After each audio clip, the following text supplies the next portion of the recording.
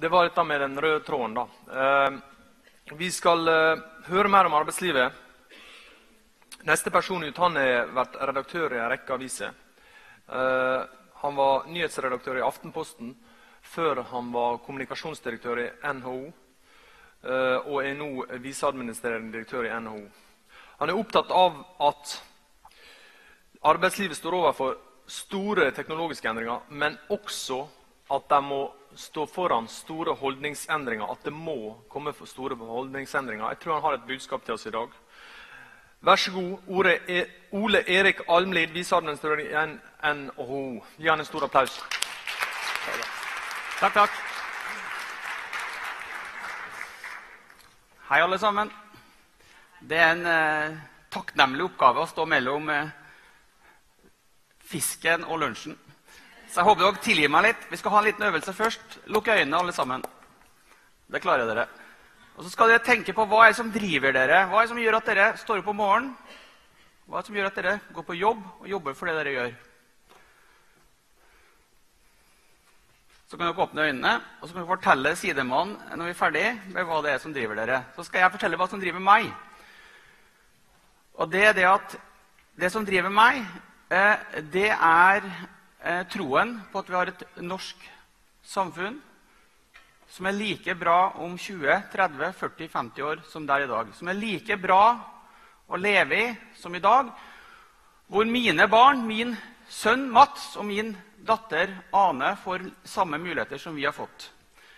Og jeg er her i dag fordi jeg har én oppgave, og det er å få dere til å tenke på hva som driver dere. Kanskje på en litt annen måte enn dere gjorde før jeg begynte.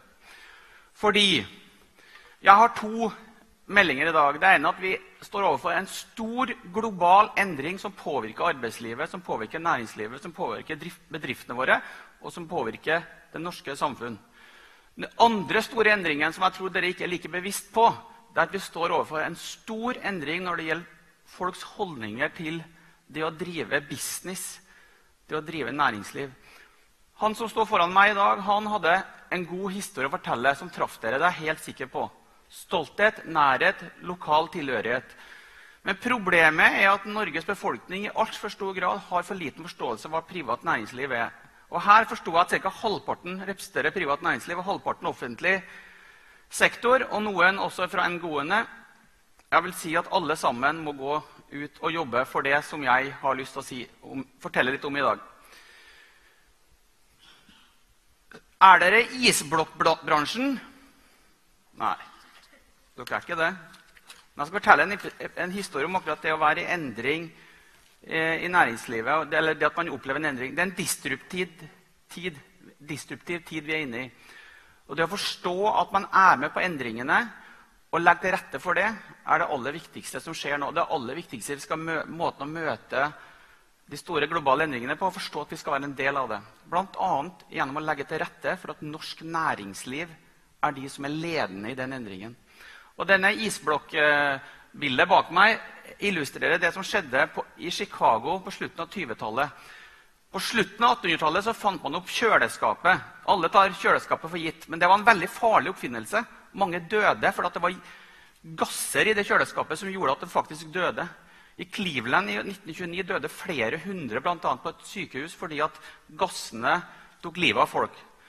Så det var en veldig farlig oppfinnelse som holdt på å bli skrota fordi det var eh, ansett for å være noe som tok livet av folk og ikke hjalp folk. Så var det sånn da at I Chicago så var det to store selskap som levde av å kjøre isblokker ut til mathusene, så restaurantene fikk kjørt ned maten. Og Det ene selskapet tenkte la oss satse på kjøleskap isteden. For da får vi kjørt ned maten med kjøleskap istedenfor å bruke ishus og isblokker. Mens det andre selskapet tenkte nei, det er isblokker som er saken. Så lanserte det ene selskapet da kjøleskap, og det ble stor ståhei. Noen kjøpte kjøleskapet, men ikke mange. Det, selskapet holdt på i konkurs. For hva gjorde det andre selskapet? Jo, istedenfor å begynne med kjøleskap, så tok man faktisk og kjørte ut isblokkene dobbelt så raskt. Og det var jo bra, for da kompenserte man for den konkurransen man fikk. Så skjønner dere hvem som vant på sikt. Ikke sant? Det var jo dem som satsa på kjøleskap. Fordi etter hvert så ble jo dette kjøleskapet da med, med en, eh, fjerna giften og fikk inn nye, nye, måter å håndtere på. Og det er akkurat det samme vi er inne, for, akkurat det samme vi er inne i nå. Er vi villige til å være med på å knuse isblokkene? Er vi villige til å legge til rette for at norsk næringsliv får lov å være ledende i verden? Og det er vi ikke. Og det er heller ikke dere. Her sitter det bl.a. mange av dere som representerer offentlig sektor. Gå hjem og diskuter dette. Forstår man sammenhengen mellom privat og offentlig sektor, verdiskapning i Norge? Dere gjør det sikkert. Men jeg skal vise dere tall på at det gjør ikke alle. Dette er oversikten over de, ti, de største selskapene i verden. I 2006, 2011, 2016. De som er nederste linjen, alle kjenner de. Dette er gode merkevarer. Vi lever med de. Vi, lever, vi dyrker de. Kjempeflinke folk. Suksesser. Alle, det, alle de store energiselskapene er borte. Mange av de øverst har vært med i 100 år. De nederst var knapt der for 20-30 år siden. Dette, var, dette er selskapet som vi elsker, og vi må være en del av det. Når du ser på de 200 største, mest innovative bedriftene i Europa, så er det nesten ingen norske der. Kan vi leve med det? Vi har vært verdensledende på mye innenfor oljen, men vi er ikke verdensledende på teknologi. Jeg mener at dette er en stor utfordring, og det er store muligheter. Og det er sånn da, at I den verden vi lever i nå, så er det at de store tar alt. Hvor mange er det som vet hvem som er nest størst i Norge etter Finn? Det er ingen.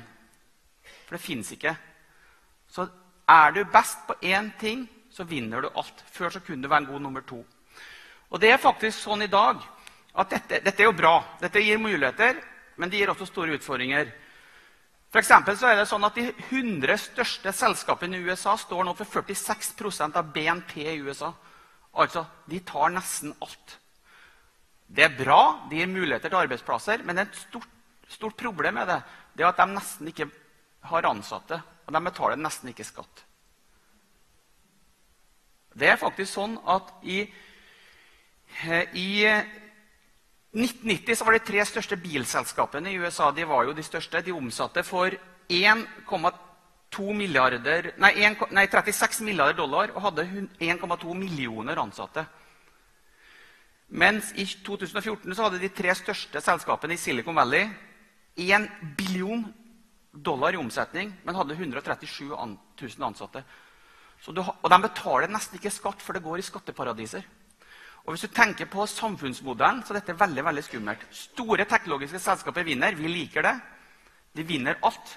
De har få ansatte, og de betaler ikke skatt. Og Norge er ikke i nærheten av å være med i konkurransen på det. Så dette er en stor utfordring for oss. Og jeg mener at dette er en utfordring som vi i litt for liten grad eh, tar inn over oss.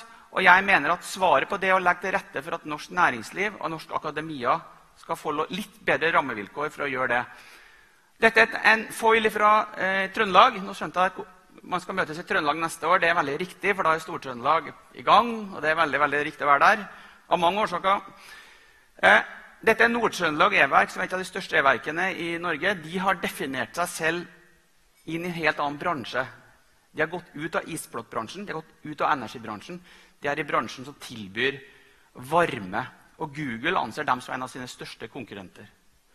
Og Jeg kommer fra avgiftsbransjen og ser hva Google og Facebook gjør med avgiftsbransjen. Det er akkurat det samme. Du har en bevegelse, det gir store muligheter. Men jeg mener at norsk næringsliv ikke får muligheten til å være en så stor del av det som vi ønsker. Og så sliter jo vi med norske ledere også. da. For I en undersøkelse som Aftenposten gjorde, så var det bare 2% av lederne som tror at teknologien vil endre kjernevirksomheten og lønnsomheten i bedriften deres. 2 Så vi har en vei å gå, vi som representerer norsk næringsliv. Og teknologien kommer til å snu opp ned. Digitaliseringen kommer til å snu opp ned på norsk næringsliv. Så vi må jobbe med å få forståelse for det. Og En av årsakene til at det er sånn, er at vi har det så godt i dette landet at vi ikke trenger å sitte framme på stolen. Og Det skal jeg vise dere en par foiler på, som illustrerer at dette preger både bedrifter og det preger folk flest. Og Hvor mange av dere har hørt en politisk debatt? Og hvor mange av dere tror det kommer til å bli en politisk debatt i forbindelse med valgkampen som dreier seg om hvordan skaper vi verdier? Alt dreier seg om hvordan vi fordeler verdier. Alle politiske debatter dreier seg om hvem skal få det vi skaper. Ingen har en debatt om hva vi skal skape. Man tar det bare for gitt at pengene kommer inn. Altså I 2006 Eller Fra 2006 til 2016 så ble statsbudsjettet dobla. Altså vi bruker 1200 eh, milliarder kroner. Vi har et større statsbudsjett enn svenskene, finnene og danskene. Altså Vi tar for gitt at det bare pøses penger i den offentlige sektor, og at offentlig sektor ordner alt. Vi diskuterer i altfor liten grad hva vi skaper. Noen har klart det. IBM er et typisk eksempel på en stor mastodont som har klart å omstille seg. Kodok har ikke klart det. Nokia har ikke klart det. IBM har funnet opp skyen, som vi alle har et forhold til. De har klart å omstille seg. Norsk næringsliv må få lov til å gjøre det samme. Altså, vi er i en region nå hvor veldig mange kjenner på det. I aksen Fosnavåg-Hareid-Ulsteinvik så tror jeg det eksporteres stort sett, sånn rundt 100 milliarder kroner i eksportinntekter. Så Der sliter man. Klart De må få rammevilkår til å omstille seg. Vi er nødt til å dyrke norske bedrifter. Vi er nødt til å dyrke norske private eiere. Og Da må de få rammevilkår til å drive med det. Jeg mener at et av svarene er den norske modellen. Den norske modellen det er en modell som vi identifiserer med, med Kristin Skogelund og Gerd Kristiansen. Så skulle egentlig bedt dere lukke øynene og tenke på hva dere assosierer med den norske modellen. Så skal dere slippe å gjøre det. For jeg har gjort det enkelt for oss. Jeg har gått på Google og søkt på hva er den norske modellen, og så får jeg opp dette. Og hva er vi ser her? Jo, vi ser veldig mye. Vi ser Gro, og det er jo bra. Jeg var og holdt et foredrag for stortingspensjonisten om dette. Hadde med foilen her. Og Da satt Gro eh, og Kåre og Kjell Magne Bondevik der. Og Da jeg sa dette, så så jeg det gikk en sånn rynke i panna på Gro. Men, men eh, det får vi bare får vi tåle. Men det dere egentlig ser her, det er Norges, norske folks tolkning av hva norske modellen er. Og her er det velferd til alle, det er tillitsvalgte, det er Gro, et organisert arbeidsliv. Vel og bra, kjempebra. Men den norske modellen, som er helt unik for Norden, den nordiske modellen er helt unik for Norden, og nå er snart unik for Norge, det er samspillet mellom offentlig sektor, privat sektor, mellom organisasjoner og myndigheter. En utrolig styrke. Det er den modellen som skal ta oss ut av den krisen vi er nå, og ta oss inn i det nye arbeidslivet. Det er den modellen er gjennom godt samarbeid mellom ulike deler av, av Norge som skal ta oss inn dit og skal legge til rette for det. Men i dag så er det ikke sånn. Hvor mange hvor mange er det som faktisk svarer ubetinga ja på det? At også private tjenesteytere kan tilby tjenester som offentlige gjør. Altså, det har aldri vært mindre aksept for at private kan tilby skoletjenester, skal jeg vise, helsetjenester. Vi aksepterer at barnehagene drives av private, men vi ikke nærheten av at private kan drive tjenester som offentlige tilbyr. Fordi vi har så stor tillit til det offentlige, og det er vel og bra, men vi har en modell som ikke går godt nok sammen. Vi har spurt folks meninger om næringslivet. Vi har spurt hva er det du assosierer med norsk næringsliv. Hva er det første som faller deg inn? Ikke kryss av. Hva er det første som faller deg inn? Hvilket ord er det?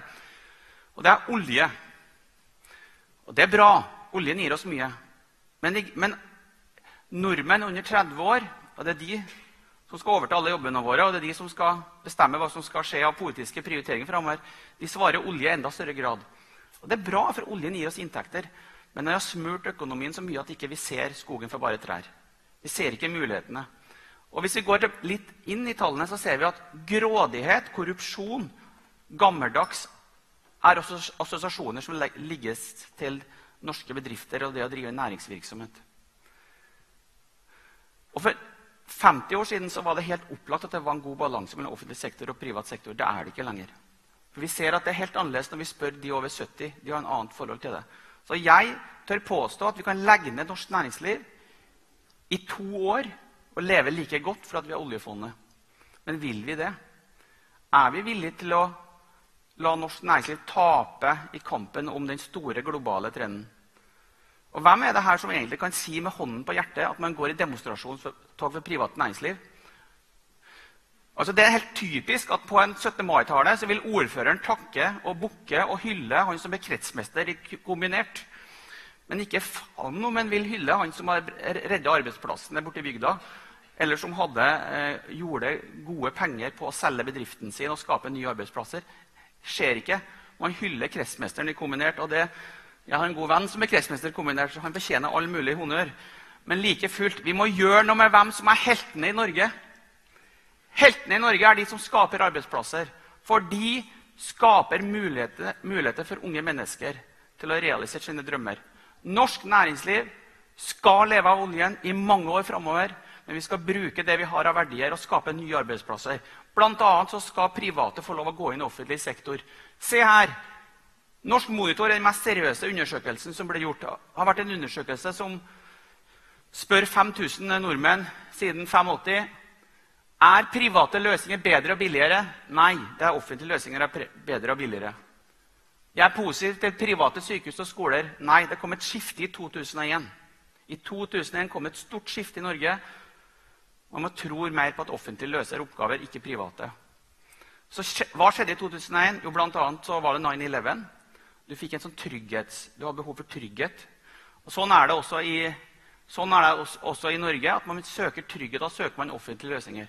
Nå kan jo noen tro at jeg snakker negativt om offentlig sektor. Det gjør jeg ikke. Jeg tror offentlig sektor og privat sektor skal ha et godt samspill. Skal ha en god balanse. Men dette må dere være med på. Så på, når dere er tilbake på mandag, på arbeidsplassen deres, så ta en diskusjon om det. Hva forbinder man med næringslivet? Hva forbinder man med privat sektor? Hva forbinder man med arbeidsplasser? Jeg tør påstå at hadde hovedstaden vært i Ålesund, så hadde det vært en annen holdning. For her tror jeg man kjenner mer på det. Det går fint an å leve i Oslo uten å ha et forhold til privat næringsliv. Så jeg tror ikke vi med det første får flytta hovedstaden hit. Eh, ja, ikke sant? Og, men hvis jeg får det som vil, så vil jeg heller tatt den til Trondheim. Da, for den har vært der før, og det funka i og for seg ganske greit. Da. Eh, men det er noe med holdning. Det er noe med hvem som skaper midlene, det er hvem som skaper pengene. Abid Raja, en fantastisk bra venstrepolitiker som jeg nå samarbeider godt med, sa dette. Jeg liker Martin. Det var en diskusjon i kontroll- og konstitusjonskomiteen om VimpelCom og Telenor osv. Trenger ikke å gå inn på den. Men jeg støtter Martin i kampen mot næringslivslederne. Hvor mange er det som bryr seg om at en stor bedrift på Sunnmøre må tvinges ut av private, lokale hender og bli kjøpt av et private equity-selskap i London? Hvor mange er det som bryr seg om det? Hvor mange som går i demonstrasjonstog for det? Knapt noen. Vi er nødt til å få et par... Jeg har sagt at vi må hylle Det er mye verre når bedriftseieren må selge Porschen enn når han kjøper den. Jeg vet at det er provoserende å si, men sånn er det. Det er faktisk sånn vi skal heie på de som tjener penger og skaper arbeidsplasser. Så hva gjør vi med det, da? Dette er den største oppgaven NHO har. NHO har et kommunikasjonsmiljø som er over 100 medarbeidere. Vi har stort nettverk av kommunikasjonsmedarbeidere i norsk næringsliv, i private, privat sektor, som vi skal jobbe med. Altså dette, når jeg har den, opp, har den, jobben jeg har i NHO, og snakker med medlemmer i NHO, tillitsvalgte, altså de som sitter i styrene våre, så sier de at dette er den største oppgaven vi har. Vi må få større forståelse. Vi må skape stoltheten og respekten. Fordi at det er vi som skaper verdier for til beste for storsamfunnet.